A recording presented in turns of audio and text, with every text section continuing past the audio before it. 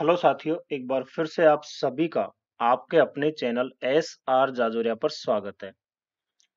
और हमारी सीरीज़ चल रही है पार्ट्स ऑफ़ स्पीच, जिसमें हम डिस्कस कर रहे हैं नाउन पे, और आज हमारा टॉपिक है केस, यानी नाउन केस, संज्ञा कारक क्या है?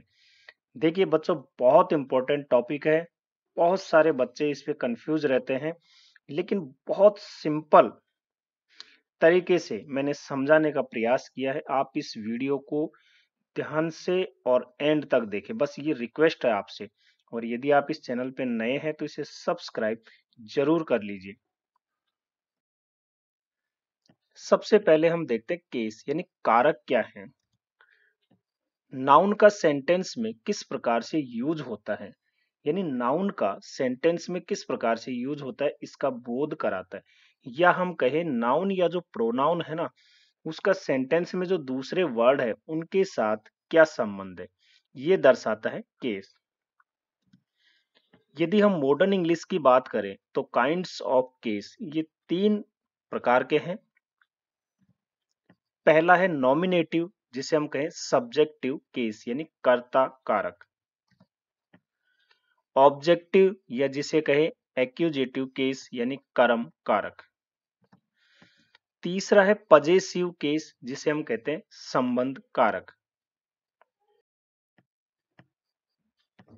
अब इन तीनों के अलावा नाउन का यूज़ और भी रूपों में होता है, जैसे वोकेटिव केस जिसे हम कहें नॉमिनेशन ऑफ़ एड्रेस संबोधन कारक के रूप में केस इन अपोजिशन और कॉम्प्लीमेंट ऑफ़ द वर्ब इन सब पर हम डिटेल में डिस्कस करेंगे, आपको बताएँगे कि चीज़ को क्लियर कर दूँगा।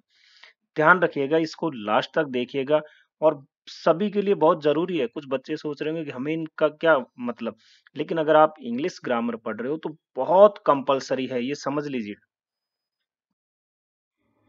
सबसे पहले हम लेते हैं सब्जेक्टिव, जिसे कहें नॉमिनेटिव केस, यानी कर्ता कारक। जब नाउन का यूज़ सेंटेंस में सब्जेक्ट की तरह होता है तो उसे हम सब्जेक्टिव या नॉमिनेटिव केस कहते हैं। नाउन का यूज़ जब सेंटेंस में सब्जेक्ट की तरह हो, या हम ये भी कह सकते हैं कि सेंटेंस में नाउन जब वर्ब के सब्जेक्ट के रूप में कार्य करे, यानी नाउन जब वर्ब के सब्जेक्ट के रूप में कार्य करे, बात एक ही है तो वो नाउन हमारा सब्जेक्टिव या नॉमिनेटिव केस में होगा। यहाँ आप इस सेंटेंस को देखिए, हिंदी में लिखा है, रवि ने एक किताब खरीदी। देखिए, मैं आपको टेंस पढ़ा चुका हूँ। अब आप फटाफट अपने मन में बनाइए, कॉपी, पेंसिल लेके बैठ जाइए। रवि ने एक किताब खरीदी। इसका इंग्लिश में ट्रांसलेशन कीजिए। कर लिया, very good. Ravi bought a book bought यानी बाई की सेकंड फॉर्म है, यानी रवि ने एक किताब खरीदी। कार्य क्या हो रहा है? खरीदने का। तो बॉट हमारी हो गई वर्ब अब हमें क्या देखना है? इस वर्ब का सब्जेक्ट तो वर्ब का सब्जेक्ट कौन है? रवि। अब आप कहोगे, सर, ये तो आपने वैसे ही बता दिया तो हमने कैसे पहचान किया कि सब्जेक्ट ही है? उसके बारे में बताएँगे। थोड़ा सा धैर्य रखिए। यदि आपको सेंटेंस में सब्जेक्ट की पहचान करनी है तो वर्ब से हूँ लगाकर प्रश्न कीजिए। वर्ब से हूँ लगाकर, जिसका मतलब होता है कौन, किसने तो हूँ बॉट ए बुक यानी किसने एक किताब खरीदी। किसने भाई? तो ये रहा रवि। तो ये रवि क्या है? सब्जेक्ट है, जो क्या है? एक नाउन है। तो यही सब्जेक्टिव केस या नॉमिनेटिव केस है। ये जो नाउन है ना, यही सब्जेक्टिव या नॉमिनेटिव केस कहलाता है, जो कि एक सब्जेक्ट है और रवि क्या है? एक नाउन है। बात क्लियर है? अब आपको ये भी पता चल गई कि किसी सेंटेंस में हम सब्जेक्ट की पहचान कैसे करेंगे। एक और एग्जांपल ले Seema wrote a letter write की सेकंड फॉर्म है रॉट तो वर्ब हो गई। अब रॉट ए लेटर तो हूँ रॉट ए लेटर कौन या हम कहें किसने पत्र लिखा? किसने? सीमा ने। सीमा क्या हो गया? सब्जेक्ट तो यही सब्जेक्टिव केस या नॉमिनेटिव केस है। कंफर्म है, क्लियर है, कोई डाउट नहीं होना चाहिए। नेक्स्ट लेते हैं ऑब्जेक्टिव केस, जिसे अक्यूजेटिव केस यानी कर्म कारक कहते हैं।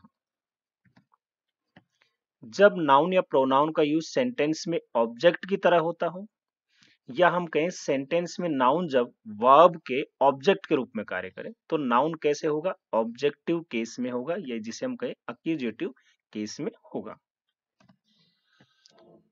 हमारा उदाहरण वही है। एग्ज़ाम्पल रवि ने एक किताब खरीदी।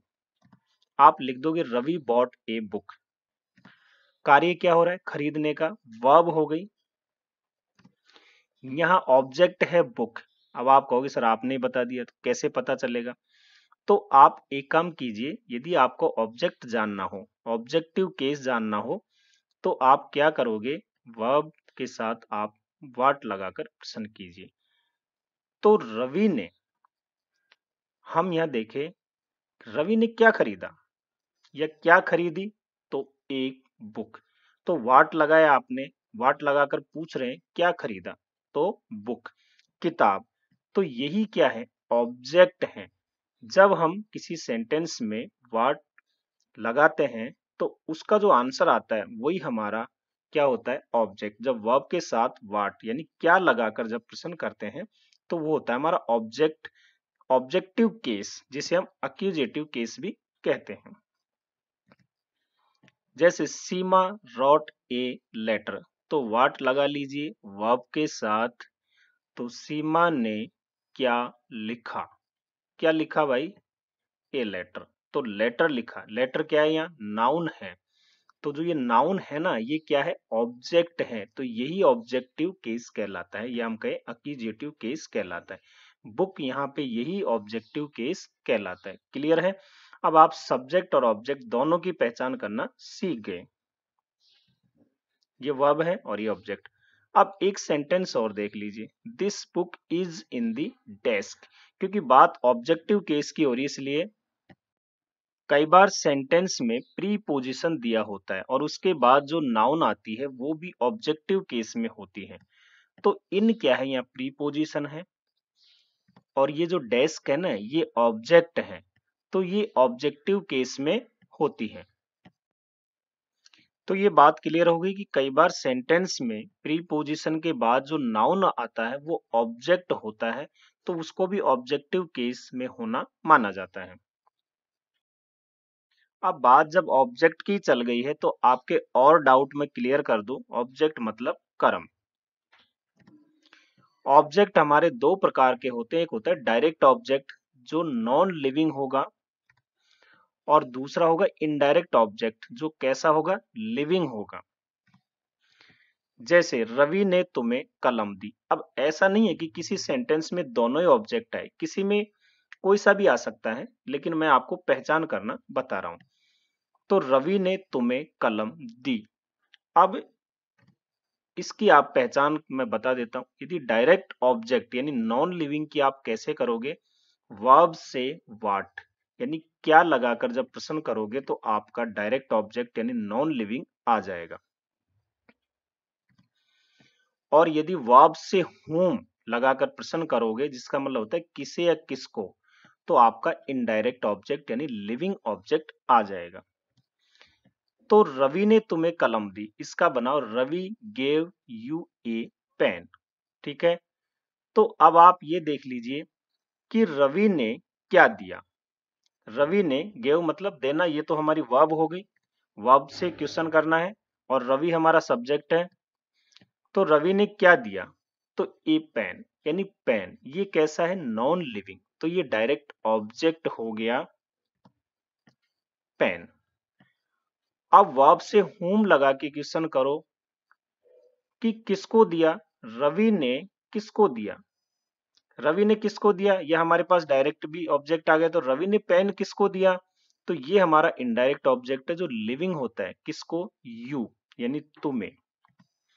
ये हो गया इनडायरेक्ट ऑब्जेक्ट तो कई बार सेंटेंस में दो ऑब्जेक्ट होते हैं, आपको ध्यान रखना। डायरेक्ट और इनडायरेक्ट दो ऑब्जेक्ट हमारे होते हैं।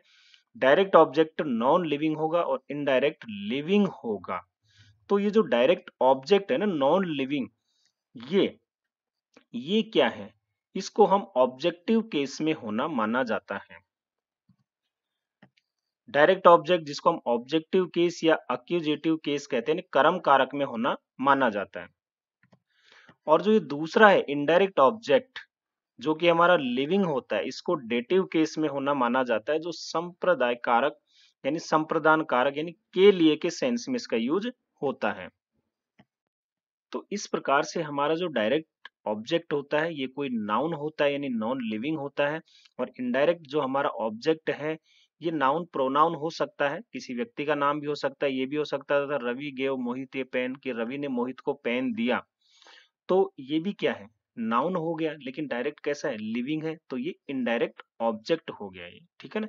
कैसा हुआ? इनडायरेक्ट तो लिविंग जो है, वो इनडायरेक्ट ऑब्जेक्ट होता है और नॉन लिविंग जो है डायरेक्ट होता है। ये बात क्लियर हो गई?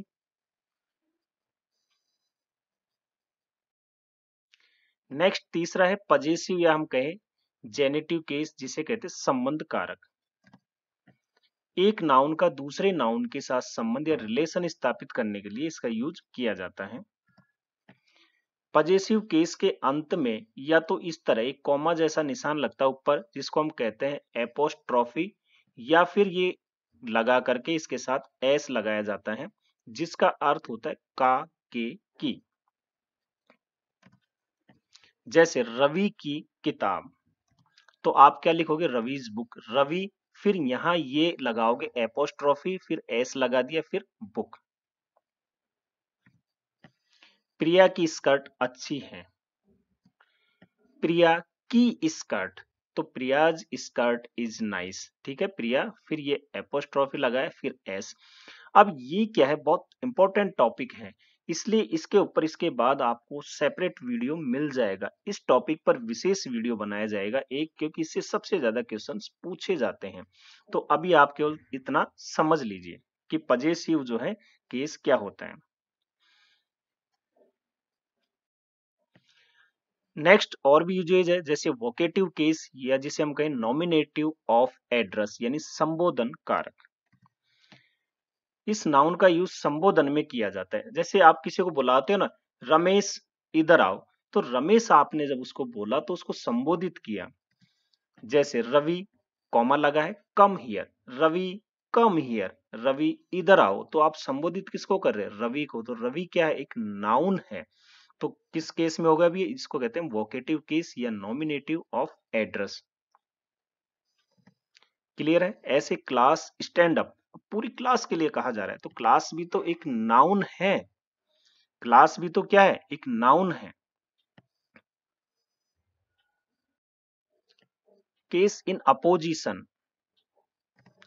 इसका मीनिंग है समानाधिकरण। जब दो नाउन का यूज़ साथ साथ किया गया हो और वे एक ही व्यक्ति या वस्तु को बताते हैं। नाउन, दो नाउन का यूज़ साथ साथ हो रहा है, लेकिन वो एक ही व्यक्ति या वस्तु को बता रहे हैं। तो दूसरा वाला नाउन, पहले नाउन का केस इन अपोजिशन कहलाता है। जैसे, Ravi, your brother is a good player. Ravi आपका भाई एक अच्छा खिलाड़ी है। तो जो रवि है ना, वही आपके भाई के लिए यूज़ हो रहा है। तो रवि, योर ब्रदर, आप कई बार कहते हो ना कि यार वो कौन था? राम। तो राम कौन है वो? मेरा भाई था। तो राम आपका भाई। बहुत ही अच्छा आदमी है। तो जो राम है ना, वही आपका भाई है। यही मैं कहना चाह रहा हूँ कि रवि जो है ना, वही क्या है? योर ब्रदर तो यहाँ रवि भी लिख दिया और उसका भाई भी लिख। तो रवि आपका भाई एक अच्छा खिलाड़ी है। तो रवि क्या है? ये नाउन हो गया। और इसी के बारे में इसी के बारे में बताया जा रहा है रवि के बारे में कि योर ब्रदर यानी आपका भाई। तो ये जो सिचुएशन है ना, इसको केस इन अपोजिशन कहते हैं। यानी जब दो नाउन का यूज़ साथ साथ किया गया हो और एक ही व्यक्ति या वस्तु को बताते तो रवि जो है, वही क्या है? ब्रदर है, उसका भाई है। तो ये जो दूसरा है ना, ये केस इन अपोजिशन है किसका? रवि का। जैसे Kamal his brother is an honest man next है complement of the verb verb के कॉम्प्लीमेंट के रूप में भी हम नाउन का यूज़ करते हैं। तो कॉम्प्लीमेंट दो होते हैं सब्जेक्टिव कॉम्प्लीमेंट और दूसरा होता है ऑब्जेक्टिव कॉम्प्लीमेंट कॉम्प्लीमेंट का मतलब ही होता है पूरक, यानी हम कहे कि एक तरह से वही बात। जैसे Ravi is a boy Ravi एक लड़का है, हम यह कहे कि एक लड़का जो है वो क्या है? वही रवि है या रवि लड़का है, लड़का ही रवि है। अगर ऐसे दोनों में समानता है तो उसको हम कहते हैं पूरक। तो रवि क्या है यहाँ? सब्जेक्ट है। और ये जो बॉय है, ये क्या है यहाँ पे? ये सब्जेक्टिव कॉम्प्लीमेंट है, क्योंकि इसके बारे में ही बता रहा है। ये सब्जेक्ट के ही बारे में बता रहा है। तो ये यहाँ ऑब्जेक्ट नहीं है। आप बॉय को ऑब्जेक्ट नहीं कह सकते। ऑब्जेक्ट क्या होता है? जब ये और ये अलग होते लेकिन यहाँ कह दिया, रवि इज़ ए बॉय तो रवि लड़का है तो लड़का ही रवि है। तो इसको कहते हैं कॉम्प्लीमेंट यानी पूरक।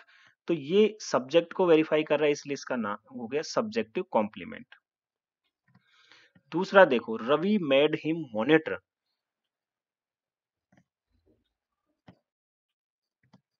subject क्या है? रवि। ऑब्जेक्ट क्या है? हिम देखिए ऑब्जेक्ट कैसे हुआ? रवि हिम है क्या? Ravi made him monitor Ravi ने उसे मॉनिटर बनाया। तो रवि अलग है हिम अलग है। तो ना तो रवि जो है हिम है, ना हिम रवि है, इसलिए ये कैसा हुआ? ऑब्जेक्ट हुआ। दोनों अलग अलग है। अब इसको देखिए। यहाँ लिखा ओसी ऑब्जेक्टिव कॉम्प्लीमेंट क्यों? क्योंकि Ravi made him monitor Ravi ने उसे मॉनिटर बनाया। जो हिम है ना, वही मॉनिटर है। जो मॉनिटर है, वही क्या है? हिम है। तो ये किसको वेरीफाई कर रहा है? मॉनिटर ऑब्जेक्ट को। इसलिए इसको कहते हैं हम ऑब्जेक्टिव कॉम्प्लीमेंट बात समझ में आ गई होगी आपके? और ऑब्जेक्ट और कॉम्प्लीमेंट में भी आपको समझ में आ गया कॉम्प्लीमेंट वो होता है जो वही हो, एक तरह से हम ये कहें। क्योंकि रवि हिम नहीं है और ना ही रवि मोनिटर है। लेकिन हिम जो है वो मोनिटर है और मोनिटर है वही हिम है। और रवि अपने आप में अलग है और हिम अलग है। इसलिए ये सब्जेक्ट और ये ऑब्जेक्ट हुआ। एक और देखो क्लियर हो जाएगा आपका। Ravi gave you a pen अब आप यहाँ देखो, यहाँ दो ऑब्जेक्ट थे। पहले बताया था कि ये डायरेक्ट ऑब्जेक्ट है नॉन लिविंग है। लिविंग है तो इनडायरेक्ट ऑब्जेक्ट है। लेकिन यहाँ ऑब्जेक्ट नहीं है। ये क्या है? ऑब्जेक्टिव कॉम्प्लीमेंट बात क्लियर हो गई? ऑब्जेक्टिव कॉम्प्लीमेंट है। देखिए, यहाँ आप यदि देखोगे तो रवि अलग है यू अलग है और पेन अलग है। क्या पेन ही यू है क्या? नहीं। यू ही पेन है क्या? नहीं। लेकिन यहाँ जो हिम है ना, वही मॉनिटर है। जो मॉनिटर है, वही हिम है। तो समानता बताई जा रही है दोनों में। यहाँ सब अलग अलग है। जब अलग अलग होते हैं तो ऑब्जेक्ट होते हैं। और जब वही बात हो तो वो क्या होता है? कॉम्प्लीमेंट यानी उसका पूरक होता है। तो बात आपको ये भी समझ में आ गई कि कॉम्प्लीमेंट और ऑब्जेक्ट में क्या डिफरेंस है? और सब्जेक्टिव और ऑब्जेक्टिव कॉम्प्लीमेंट क्या होते हैं? तो यहाँ ऑब्जेक्ट के बारे में बताया जा रहा है मॉनिटर कौन है? हिम तो ये ऑब्जेक्ट है तो ये हो गया ऑब्जेक्टिव कॉम्प्लीमेंट तो दोस्तों, इस टॉपिक को मैंने बहुत सरल तरीके से समझाने का प्रयास किया है। उम्मीद है आपके टॉपिक पसंद आया होगा। तो इस वीडियो को ज़्यादा से ज़्यादा लाइक करें शेयर करें और इसको चैनल को सब्सक्राइब करें। हँसते रहिए, मुस्कुराते रहिए, देखते रहिए मेरे साथ आपका अपना चैनल एस आर जाजोरिया। धन्यवाद।